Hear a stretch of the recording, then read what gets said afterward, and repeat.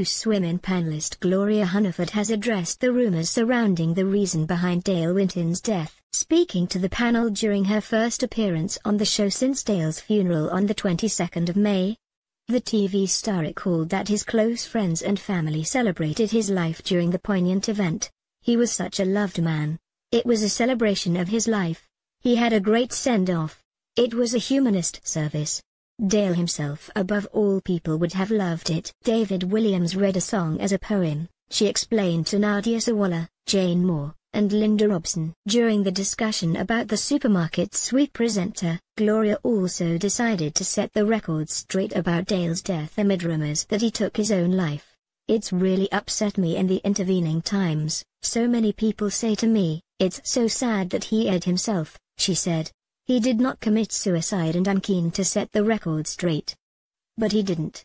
He never would have done that. Gloria then explained what happened in the time leading up to the much-loved presenter's death. What actually happened? He had his assistant in the house and she said they had a coffee and a chat and he said to her he's not feeling great. He went upstairs to have a bath or a shower, she thought it was quiet, she went upstairs in half an hour's time and sadly found him dead in bed. Dale had a lot of things going wrong. He had pain with arthritis. He had a heart complaint. He had a chest infection, and we all know how the winter affected that. He had asthma as well. Confirming that the official cause of death will be announced in due course, the panelist added, the coroner's report will come out in two weeks' time.